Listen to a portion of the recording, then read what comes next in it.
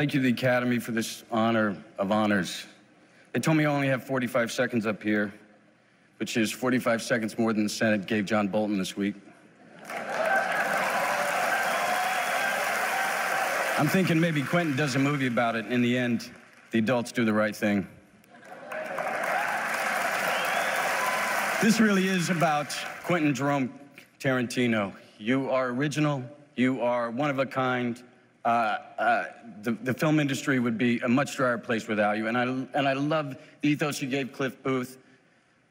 Look for the best in people, expect the worst, but look for the best. Leo, I'll ride on your coattails any day, man. The view's fantastic. And to the rest of the cast and crew, uh, Big Bad Bob Richardson, um, Robert Garcia, Richie, uh, my man Mike Moh.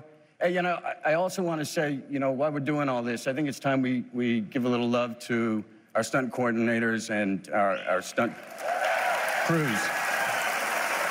Listen, I'm a big gobsmacked. I'm not, I'm not one to look back, but this has made me do so, and I, I think of my folks taking me to the drive-in to see Butch and Sundance and loading up my car and moving out here, and Geena and Ridley giving me my first shot, to all the wonderful people I've met along the way, to stand here now.